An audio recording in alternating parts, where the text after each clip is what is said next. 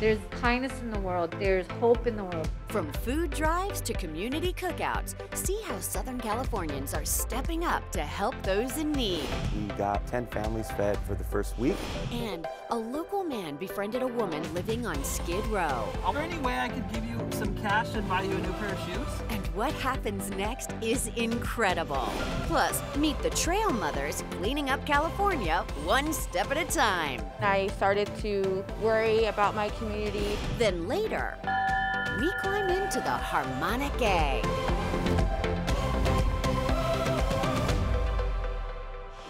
Hello, Happy New Year, and welcome to Localish LA. I'm Karl Schmid. We are kicking off 2021 by looking at the good. The good being done in our communities. From street vendors in East Hollywood helping feed those in need, to a non-profit in the Arts District helping undocumented workers and their families. Here are their stories. No Us Without U is a nonprofit and 501c3 that helps to feed over 1,300 families. We saw the lack of representation for our back of the house community. We're talking porters, dishwashers, line cooks, uh, prep cooks. We've also extended our help to street vendors and cleaning crews from different hotels and buildings. We're currently feeding 1,300 families a week, each and every week learning from our past mistakes and uh, getting better as time goes on so we can keep adding in more families and executing it consistently.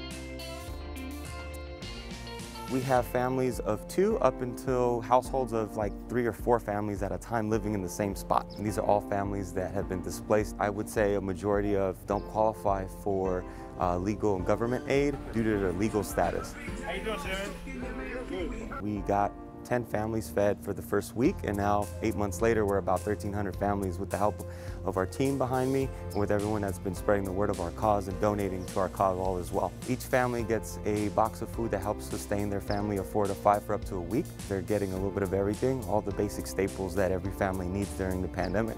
The response from the families is they, they talk to us with tears in their eyes. They're very grateful. These are scary times for all of us as citizens, let alone as someone that's not a legal status. But we're here to help. We're here to give them concrete hope. We tackle each and every single family's issues and problems head on because we believe that the most uncomfortable conversations are the most important, especially right now. It was easy for us because we consider a lot of these folks our friends and our family.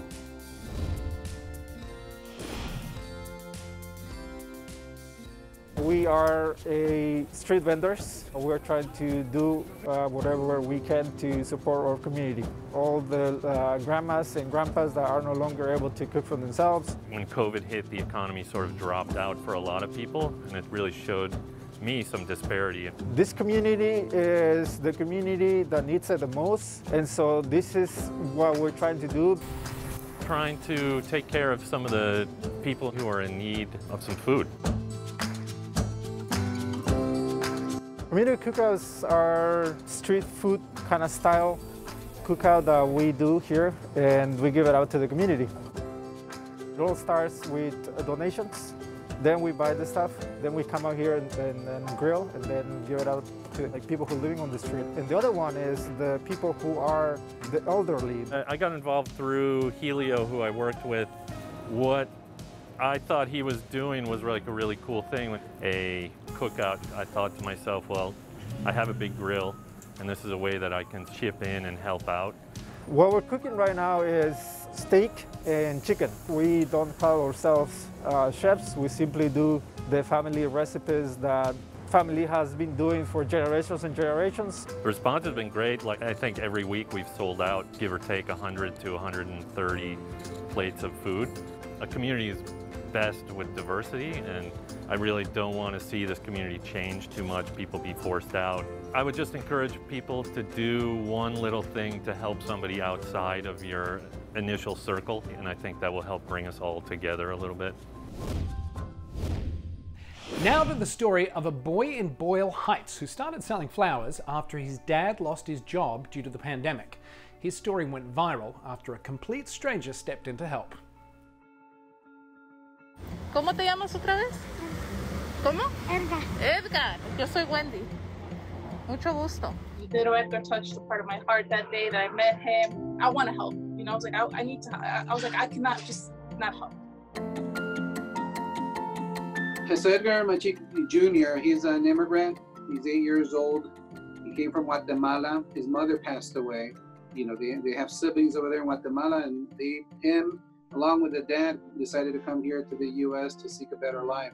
Porque por la pandemia eh, bajó el negocio y no he podido pagar el dealer del apartamento. Hola, Edgar. They couldn't find a job. Now here they are, entrepreneurs selling flowers uh, in the corner of East Los Angeles, and they're becoming examples to the whole community. Sí, todos me lo voy a llevar. He, he reached out to me and he was like, "Hey, buy my flowers," and, and you know, I, I just, I don't know, I just something about him. He, he he had this light, and I was like, okay, well, I need to help, and I have a platform to help, so I did. we started the GoFundMe um, account back in July. The goal was originally, I think, if I'm not mistaken, like $5,000. And it just grew. Uh, apparently when somebody opens up a GoFundMe account, it's not that easy to obtain the money. It's actually impossible to obtain the money if you're undocumented. So they needed a mid person to get make that happen. Dios le tocó el corazón al abogado Alex, le va a sacar un, una residencia permanente de primero y después eh, va conmigo por un asilo político. I think that the prospects in the future for Mr. Machik and his children look very promising. Machik Jr., because he's here with just one parent, the mother died, that puts him in a very strong position of getting his green card, and hopefully we could do the same for the daughters that are in Guatemala and might be coming here to the U.S. soon. Gracias, que Dios la bendiga We've seen a lot of children stepping up to help their parents during this pandemic. Andy Soch opened not one but two businesses, all driven by her love for her ailing father. I always thought that it would be more shameful for me not to do anything than to put myself out there and risk everything. Given my dad's health condition, I needed to figure out different ways to generate income. I realized that one job was not going to be enough for me to sustain myself and my father. I was artistic and I loved plants, and I thought bringing those together potentially come up with something really enticing for my community to be part of. All these things make me feel that there's kindness in the world, that there's hope in the world, that there's enough love that could potentially make a business grow. Today we are at our second location of Latinx with Plants. I am the founder, um, worker, social media handler, um, among many things. I started my pop-ups during Christmas um, of last year to help my father. And I think that's when I really thought that was when my business had really started. I started selling plants out of my porch in May, and by July, I had already opened up my store. I want to be able to hire my community, employ my community, and having my, my dad always in the back of my mind, whether I know he's going to get better or not, is always reminding me that I just have to keep trying.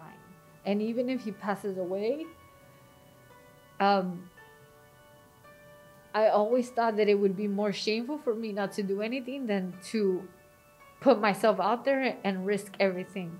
You, whatever it is that you're doing, that you're doing it with honesty and love and passion, and those things will get you far. We wish all the best to Andy and her father. Now, let's talk about a group that is helping clean up our communities, in particular, local hiking trails. Meet the Trail Mothers. I see everybody and anybody leaving their trash on the trail. I started to worry about my community, started to pick up after my community, started to take it upon myself to do something about all the trash. When I was cleaning up, I noticed that I couldn't do it by myself. So I thought to myself, you know, I could get people to help me. It started to grow in the middle of 2017 when we had our first event. 2020, we became an official 501c3 nonprofit. Ever since then, we've been having um, little hikes, we've been having stewardship events, which is big with us. Stoney Point Park is the main focal of this whole vision that I have. It needs a lot of help. There is a lot of graffiti there that I'm planning to remove. So I had an event last month and we picked up, I believe, 350 pounds of trash. There's more trash because of COVID. There's a lot. There's mass clinging on trees, on rocks. They're throwing it in the bushes, thinking that I or anyone else can't see it. There's more trash hidden in the bushes than there is out on the trail right now. And I'm working with the city so we can put more trash cans, more signs, do something different because I don't want I don't want it to keep getting trashed and then ultimately have it closed down. I think it's really important to just take your trash with you. So I just say pack it out no matter what. Hikers, climbers, just do it so our parks can stay open and clean. Up next. Right now, I'm 101. Find out why this local woman is being honored with a massive mural. Plus, we'd like to buy a vowel. It's a positive show. One on one with Vanna White. And remember Lady Gaga's red carpet arrival in an egg? Did it inspire California's newest wellness craze?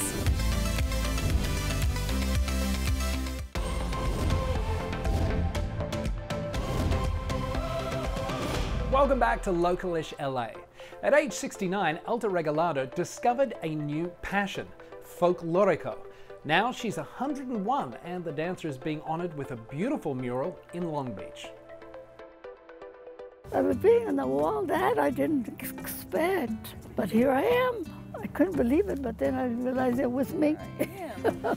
right now I'm 101, and here I am still dancing Mexican folklorico. It's really important and inspiring for us to be able to paint this mural because older adults are not recognized as mm -hmm. much in the community or in the country as they should be.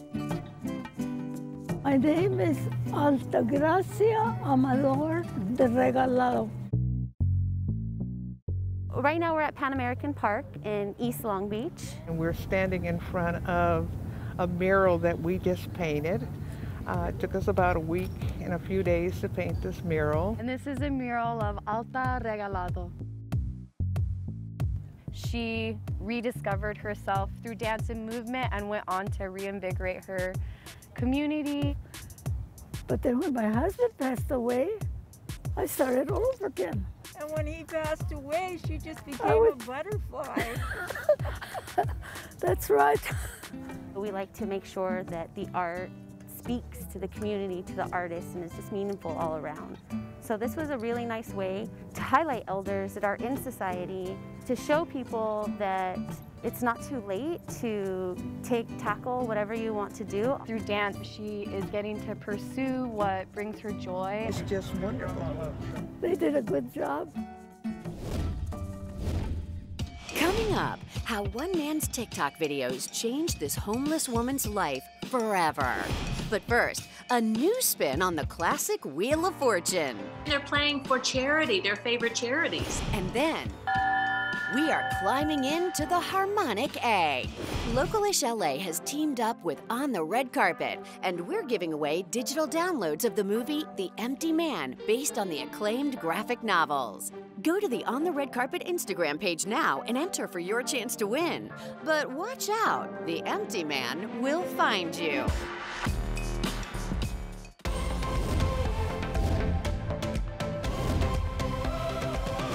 Welcome back to Localish LA. The iconic game show Wheel of Fortune is getting a new spin in primetime, and I recently caught up with host Vanna White to find out more for On the Red Carpet. All right, is that it? I just, I just clean up. Celebrities are giving America's favorite wheel a spin in primetime, and all for a good cause. They're playing for charity, their favorite charities. A C. One C. Yeah. they can win a lot of money and they do win a lot, of money. One round, we have $4 million wedges on the wheel. So how do the celebs compare to the regular contestants that play Wheel of Fortune? You never know what's going to come out of their mouth. Did I call it? Yeah, yeah. They're able to speak their mind and say whatever's on their mind and have fun, you know, just kind of joke with the other contestants or the other celebrities and myself and Pat. And they're all playing for the big dollars. You can never get enough fun, from watching fun. And you turn on Wheel of Fortune and you escape into solving the puzzles. You turn on the TV and you can see it's just, you know, we are in a terrible situation in the whole world. So I think everybody needs help. And I'm so happy that Wheel was able to have these celebrity games, and these celebrities have raised so much money for their, their favorite charities. Everybody loves to see people win money.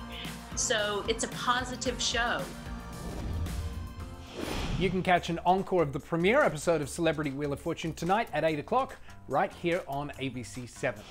Now, remember when Lady Gaga turned up at the Grammys in an egg? The singer told Ryan Seacrest she'd been in the egg for 72 hours. She called it a very creative experience. Well, now there is an egg you can go in, just not for 72 hours. It's called the Harmonic Egg and it is helping people heal, and we sent Rashumba Williams to check it out. So we offer two beautiful harmonic eggs, which is a patent geometric chambers that promotes healing through energy, light, and sound. The Healing Studio is a, a, safe space for people to come and rest and restore their body and their autonomic nervous system. So we'll welcome you through the door. Hi, welcome. We'll meet with you to see what you want to heal, what you want to work on. And from there, we will choose your colors of the what colors we want in the chamber, as well as your music. We sit you down in a zero gravity chair. We'll recline you back however you feel comfortable to recline back to. You can sit up if you like as well. Uh, the session is 40 minutes of music and then 10 minutes of silence to integrate. And at the end of that session, we ring the crystals and use that to let you know that we are entering the room and gonna be opening the door.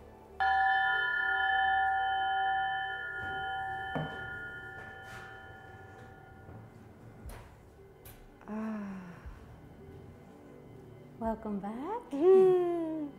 It was just great to just kind of like have that moment that I can feel like my chest like easing and you know the color was just you know just so soothing and the sound it's like one speaker and then another speaker and it just I just felt myself just kind of like you don't have to have an ailment or disease. Day-to-day life, the hustle and bustle, traffic, work, we get out of balance. So this helps your cells rejuvenate and just relax and be able to kind of get you back into balance. You can learn more about the Harmonic Egg and Healing Studio at our local LA Facebook page. This winter, a group of girls from the Hawthorne area are taking to the ice thanks to a little help from the LA Kings. Here's a look at the Power Project. I like how I get to meet new people and I like how I get to learn a new skill. Hockey is a non-traditional sport in our area. You don't see hockey programs here in Hawthorne, in Inglewood. You know, you don't because it's too expensive. But here, this is where you can get that. We uh, get you fitted for your gear and next thing you know, you're out there on the ice. The Power Project program is a, is a program that introduces um, hockey to kids in our area. So it started off as a conversation that I was having with my former sergeant. We were talking and I said, um, I'm gonna Google female black professional hockey player. And when I did that, it was just question marks. And I was like, well, what, is Google broken? Or what is it, what happened? So from that point on, that's when I said, you know what? I think I want to start a program for minority girls. We're a big believer that it takes a village to, to raise humans and we, we have a great village right now. The Kings have been a tremendous help. You know, they've donated everything from coaches to advice. When you teach things at a young age, they grasp through them. They're more willing to go out and try different things. And being hockey, one that that is quite different from everything else that they do. I think it's important that we introduce it at a young age. Power Project, it's more of a mentorship because it's not just hockey. It's a program that gives them the skills. They get to see, experience different things, go different places. And they truly feel like they have support and they feel they truly feel like this is a family here. And I love that. Up next, a local jewelry designer befriended a woman living on Skid Row. Is there any way I could give you some cash and buy you a new pair of shoes? And what happens next will have you reaching for a box of tissues.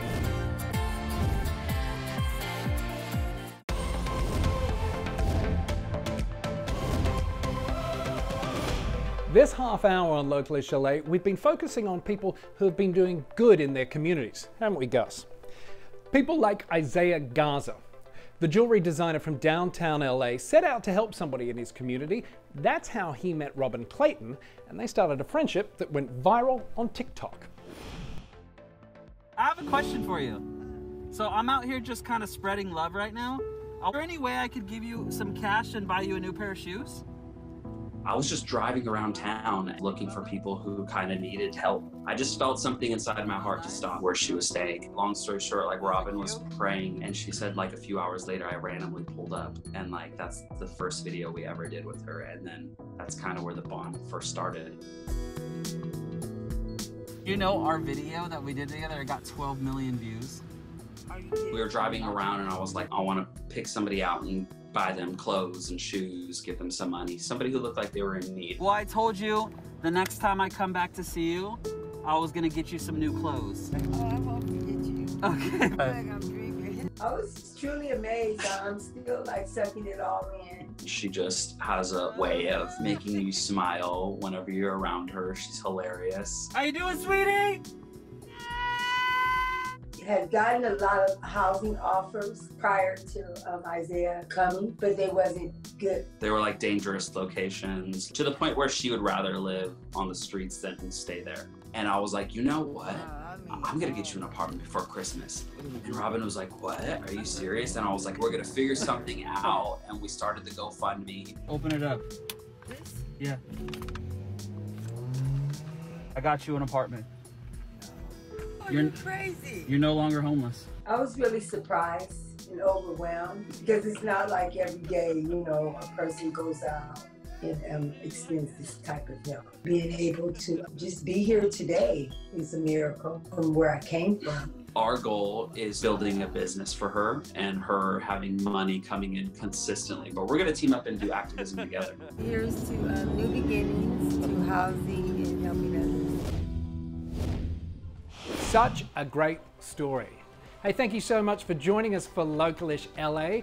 For more local stories, be sure to check out the Localish LA Facebook page. We'll see you next time, and in the meantime, stay safe and healthy, everyone.